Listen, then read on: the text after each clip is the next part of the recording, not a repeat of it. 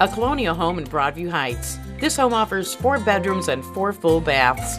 The fabulous kitchen offers a large island, granite counters, and hardwood floors. Off the kitchen is the vaulted family room with a fireplace. The large master suite has a glamour bath. The full finished basement is a great place to entertain. Outside, you'll find a partially covered deck and a paver patio. Open today from 1 to 3 p.m. Contact Ajay Mehta for more details.